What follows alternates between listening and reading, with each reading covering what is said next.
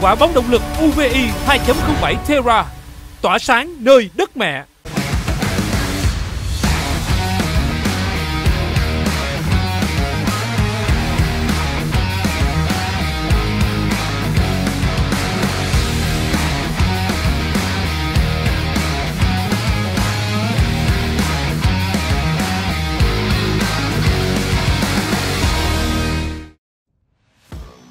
Sau vòng đấu đầu tiên đầy bất ngờ, LP Bank V-League 1 2024-2025 sẽ trở lại vào cuối tuần này.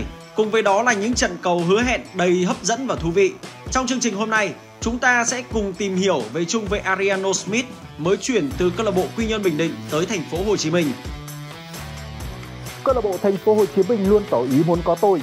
Thực tế thì họ cũng đã theo đuổi tôi một thời gian rồi và đó là lý do để tôi quyết định gia nhập đội bóng. Đông Á Thanh Hóa tìm kiếm chiến thắng đầu tiên tại LP Bank V-League 1 2024-2025 trước câu lạc bộ Công an Hà Nội. Và cuối cùng sẽ là màn thư hùng giữa thể công Viettel và câu lạc bộ Hà Nội diễn ra tại sân vận động quốc gia Mỹ Đình. Sau 3 năm thi đấu tại Bình Định, chung vệ Ariano Smith đã quyết định thay đổi môi trường. Anh rời sân Quy Nhơn để tới với câu lạc bộ Thành phố Hồ Chí Minh tại LP Bank V-League 1 2024-2025. Và tại vòng 2, Smith sẽ đối đầu với chính đội bóng cũ. Tôi rất háo hức khi tới đội bóng mới. Câu lạc bộ Thành phố Hồ Chí Minh luôn tỏ ý muốn có tôi. Thực tế thì họ cũng đã theo đuổi tôi một thời gian rồi và đó là lý do để tôi quyết định gia nhập đội bóng. Đây là một đội bóng tốt, có phong cách chơi rõ ràng với những cầu thủ giỏi. Tôi cũng quan sát đội một thời gian trước khi quyết định tới đây và tôi hài lòng với quyết định này của mình. Ariano Smith là một trong số cầu thủ Việt Kiều đầu tiên cập bến và trụ lại được ở V-League. Anh về Việt Nam thi đấu cho câu lạc bộ Hải Phòng từ năm 2018. Tiếp đó, Smith chuyển tới Bình Định từ năm 2022. Anh gắn bó với đội bóng đất võ trong 3 mùa giải trước khi tới với Chiến hạm đỏ.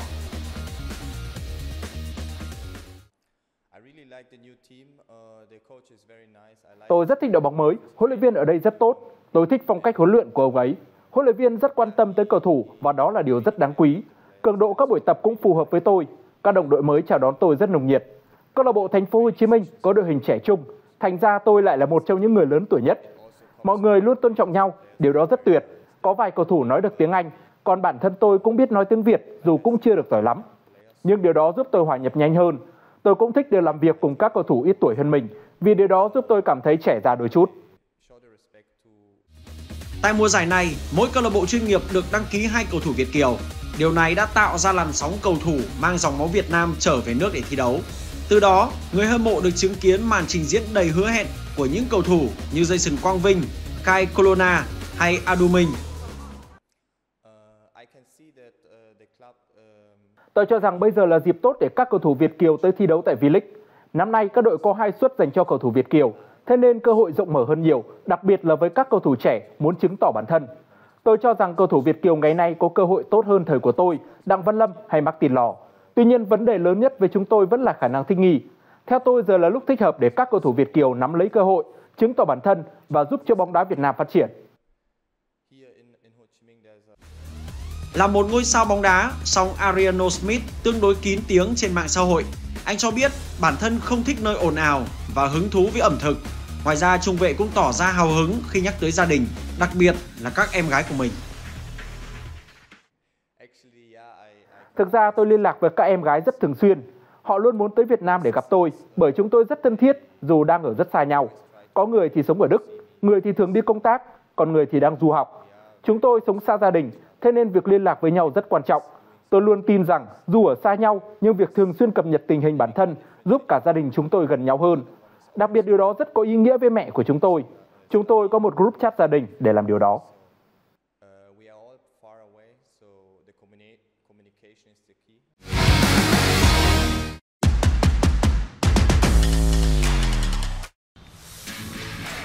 Sau thất bại ở trận đấu gia quân, Đông Á Thanh Hóa sẽ có chuyến làm khách được dự báo đầy khó khăn trên sân hàng đẫy, gặp đối thủ Công an Hà Nội ở vòng 2 LP Bank V-League 1 2024-2025.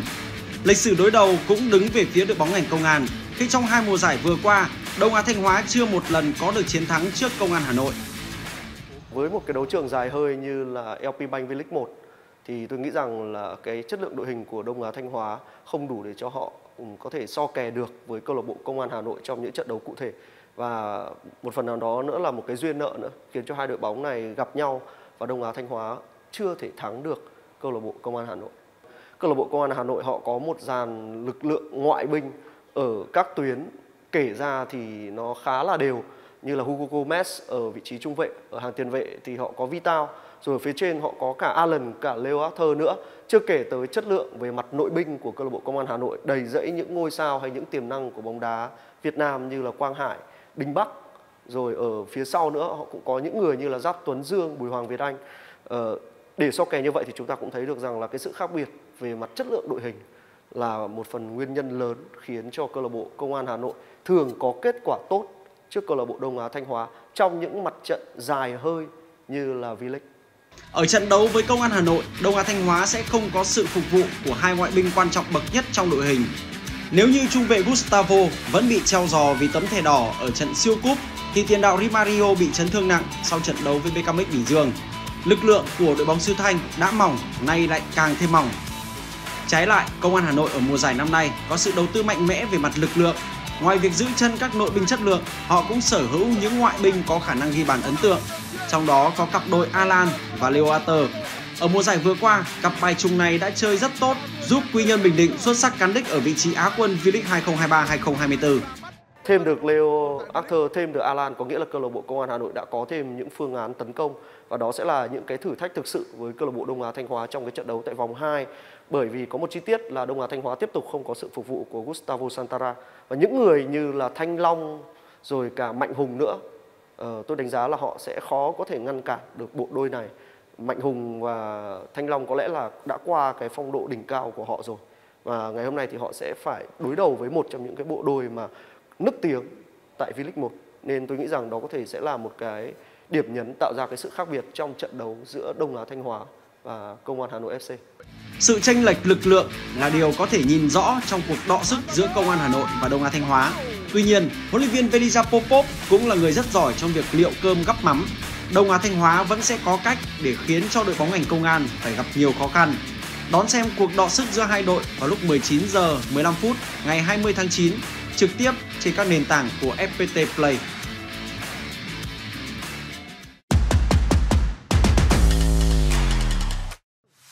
Ít ai ngờ rằng câu lạc bộ Hoàng Anh Gia Lai lại có màn khởi đầu LP Bank V-League 1 2024-2025 tương bừng đến như vậy.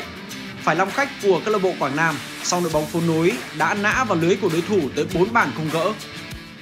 Thì ờ, đầu tiên ờ, ở trên ờ, cương vị của huấn luyện trưởng thì tôi cảm giác rất là vui và cảm giác nhân đôi khi đội giành chiến thắng ở trên sân của đội Quảng Nam. Và tôi cũng có hạnh phúc khi các cầu thủ chơi tốt và cầu thủ um, trẻ nhất trong đó chúng tôi đã ghi bàn.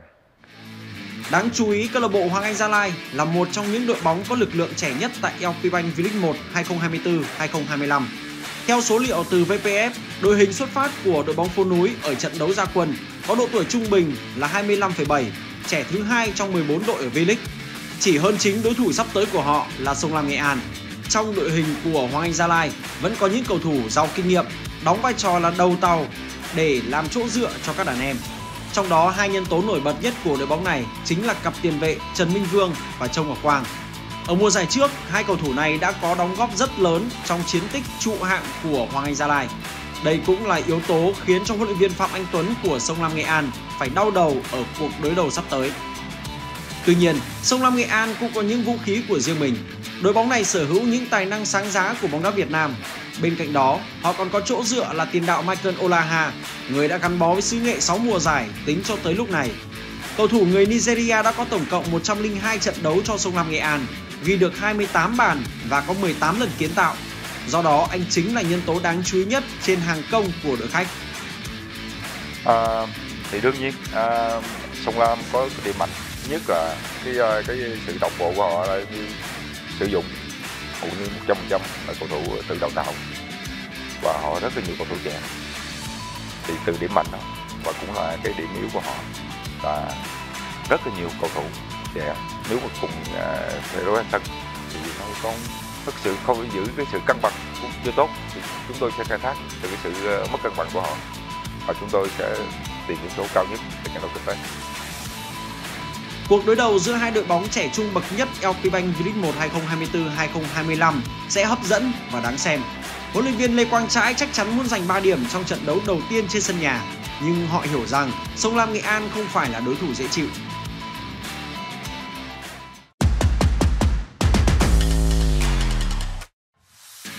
Tại vòng 1, bất ngờ lớn nhất chính là việc các nhà đương kim vô địch thép xanh Nam Định bại trận trước Hồng Lĩnh Hà Tĩnh. Đây chắc chắn là điều khó nuốt trôi đối với huấn luyện viên Vũ Hồng Việt cùng các học trò, đồng thời cũng là động lực để họ hướng tới một chiến thắng khi trở về sân nhà Thiên Trường. Ở trận gia quân, việc thiếu vắng Nguyễn Xuân Son cũng ảnh hưởng lớn tới lối đá của thép xanh Nam Định ở V-League. Họ không có phương án gây sức ép đủ lớn lên đối phương. Bên cạnh đó, khả năng tận dụng cơ hội của các chân sút khác cũng chưa tốt.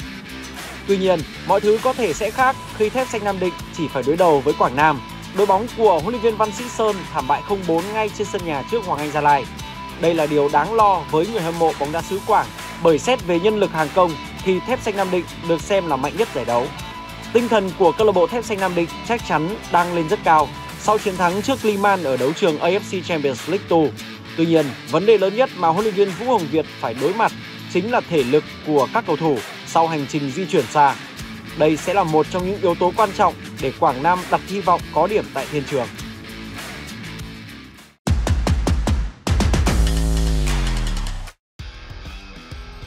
Chiến thắng bất ngờ trước Thép Xanh Nam Định tại vòng đấu mở màn LP Bank V-League 1 2024-2025 đã tiếp thêm sự tự tin rất lớn cho Hồng Lĩnh Hà Tĩnh trước thềm cuộc đối đầu với SHB Đà Nẵng.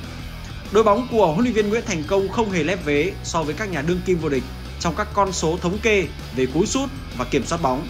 Điều đó cho thấy họ đã có sự chuẩn bị kỹ càng cho mùa giải mới. Tuy nhiên, việc làm khách của SHB Đà Nẵng lại ẩn chứa những yếu tố bất ngờ khó đoán. Trước thềm LP Bank V-League 1 2024-2025, hai đội đã đá giao hữu với nhau và đội bóng của huấn luyện viên Trương Việt Hoàng giành chiến thắng 3-1. Bên cạnh đó, các trận đấu giữa hai đội bóng này thường diễn ra rất cân bằng khi có tới 4 trận hòa sau 5 lần gặp nhau. Tuy nhiên thực tế là Hồng Lĩnh Hà Tĩnh chưa bao giờ đánh bại được SHB Đà Nẵng ở đấu trường V-League. Vì lẽ đó, trận đấu tới sẽ là cơ hội để huấn luyện viên Nguyễn Thành Công cùng với các học trò phá rớp. Họ hiểu rằng đây không phải là nhiệm vụ dễ dàng, nhất là khi đối thủ của họ sở hữu lực lượng đáng gờm với dàn ngoại binh chất lượng. Tuy nhiên, với những gì đã thể hiện trước thép xanh Nam Định, người hâm mộ Hồng Lĩnh Hà Tĩnh có cơ sở để tin vào một chiến thắng nữa để có màn khởi đầu như mơ tại LP Bank V-League 1 2024-2025.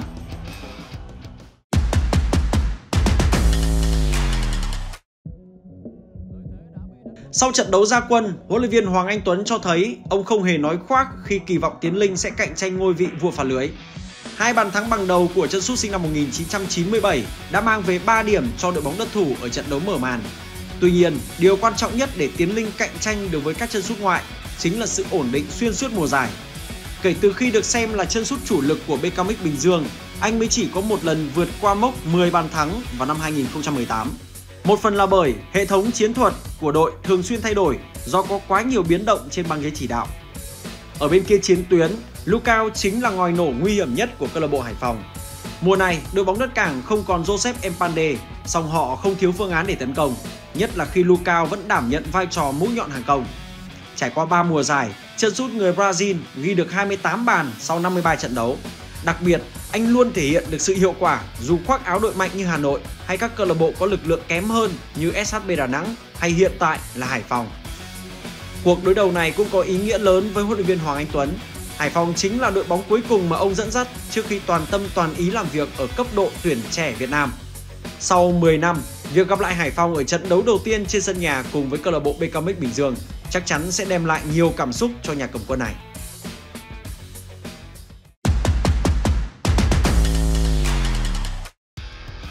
Bất chấp biến động lực lượng, cả Quy Nhơn Bình Định và thành phố Hồ Chí Minh đều có màn khởi đầu không tồi tại LP Bank V-League 1 2024-2025. Đội bóng của huấn luyện viên Bùi Đoàn Quang Huy chỉ thua sát nút câu lạc bộ Hà Nội với bàn thắng ở những phút cuối trận của Văn Quyết. Trong khi đó, câu lạc bộ thành phố Hồ Chí Minh cầm hòa thể công Viettel trên sân thống nhất. Đây là cơ sở để cả hai đội bước vào vòng 2 với quyết tâm giành chọn 3 điểm. Tuy nhiên, cả hai đội cũng bộc lộ vài vấn đề sau trận đấu ra quân. Câu lạc bộ thành phố Hồ Chí Minh hoàn thành tốt việc hạn chế cơ hội của đối thủ, song họ cũng chưa tận dụng tốt các tình huống lên bóng của mình. Trong khi đó, Quy Nhơn Bình Định đơn giản là không có nhiều pha tấn công khi đối đầu với Hà Nội. Nhân tố đáng chú ý nhất ở trận đấu này chính là Ariano Smith. Ngoài việc đối đầu với đội bóng cũ, màn so tài tại sân Quy Nhơn tới đây sẽ là trận đấu thứ 100 của anh ở sân chơi V-League. Đây sẽ là động lực lớn để anh thi đấu với toàn bộ sức lực và giúp cho câu lạc bộ Thành phố Hồ Chí Minh có được kết quả tốt.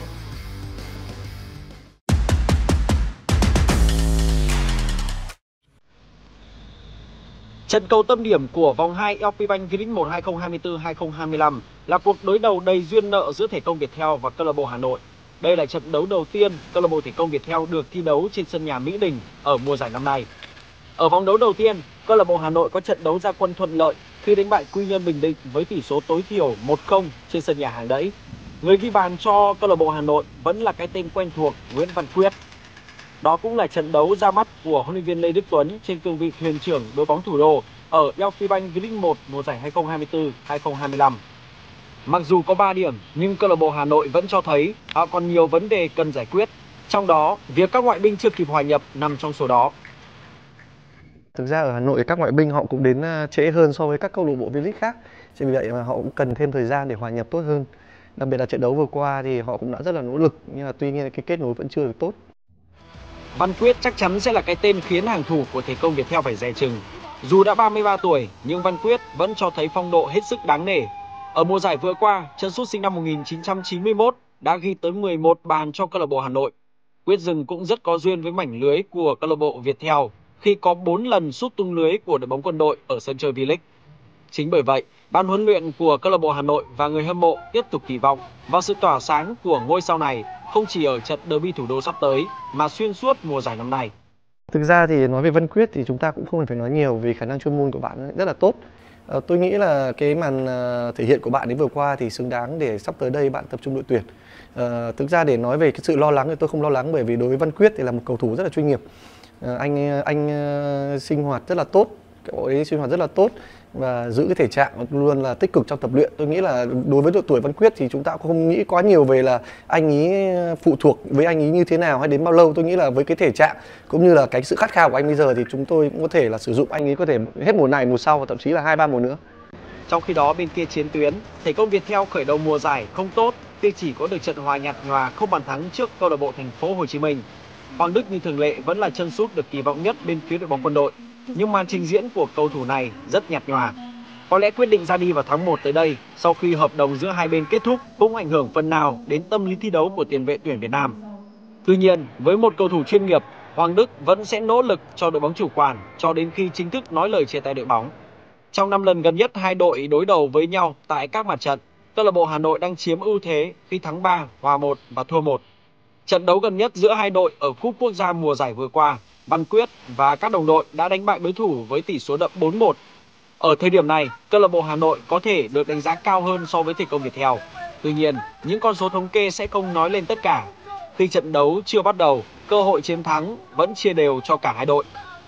Tất cả sẽ cùng hướng mắt về sân vận động quốc gia Mỹ Đình để chờ đợi vào màn so tài giữa những ngôi sao bóng đá hàng đầu Việt Nam mà câu lạc bộ thể công Việt theo và câu lạc bộ Hà Nội đang sở hữu.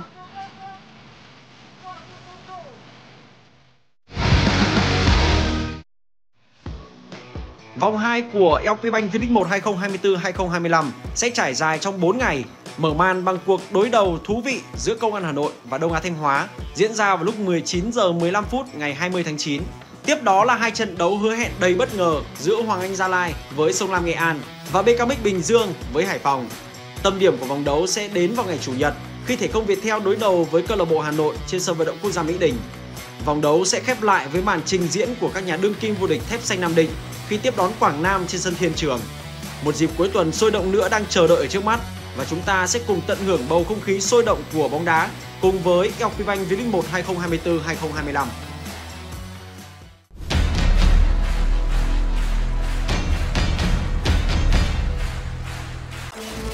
Trải nghiệm thế giới thể thao không giới hạn cùng FPT Play